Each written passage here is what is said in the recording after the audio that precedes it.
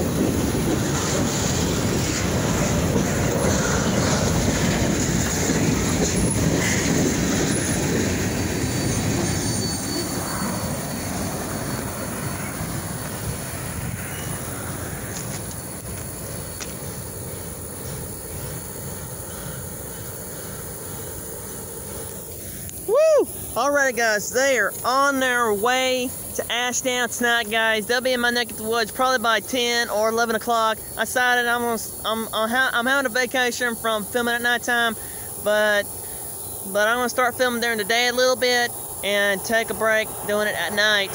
So that's the reason why I'm doing it now, so I don't have to do it later on. So, so guys, I'm going to start coming up here every Sunday and um, every Sunday and film them going to Ashdown during the day right now.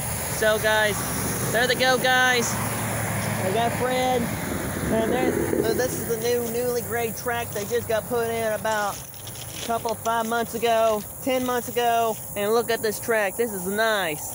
This is this is what they're going to start upgrading to. The train's gonna be going about 25 miles an hour. That's faster than 10 miles an hour. That's faster than the normal speed limit for a short line and they are upgrading their uh, they're upgrading the road crossings as well. So, so this is going to be a amazing. Um, it's going to be amazing. Uh, this this coming to the Kiamichi Railroad. Um, so later on, they're going to do this, do this to the uh, tracks down my direction. So, so that'll be later on somewhere in the time frame. So, so now look at them. So guys, I want to see if I can get them about maybe three or four times before nightfall. I was gonna think about going fishing, but I, I, I didn't catch nothing today. So maybe next Sunday.